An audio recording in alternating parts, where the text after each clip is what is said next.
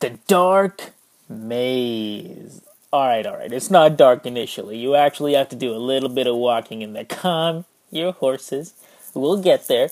So now you just go ahead. Now you beat the Warpriest and you feel like you can do anything. Alright? Even traverse the dark. Uh, alright, guys. You go ahead. Uh, I'll, I'll catch up later. Once, uh, I'm not afraid. Once you get enough, uh, strength and bravery, you go ahead and make a left here. Oh my god, is that a is that a ghost? That I'm. Anyways, uh, you go ahead and make a left, then you make another left, and you'll find a uh, calcified fragment here. I understand why it's here, because somebody died there and didn't want to move in this dark maze.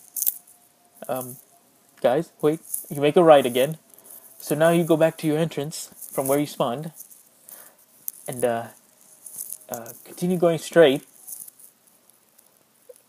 All right, uh, just go ahead and follow you here, and uh, stick together, buddy. I'm not afraid.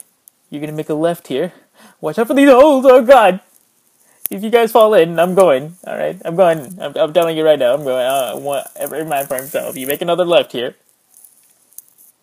Oh my God! Oh my God, Perry, you scared me. Oh my God! All right. Uh, I'll follow this big muscly titan. He'll protect me from darkness. Alright, you make a right here. Alright. Here we go. I see the light. I don't know if it's that kind of light or if I'm dying. I see some chandeliers. Is that supposed to be here? Alright, I think I'm going the right way.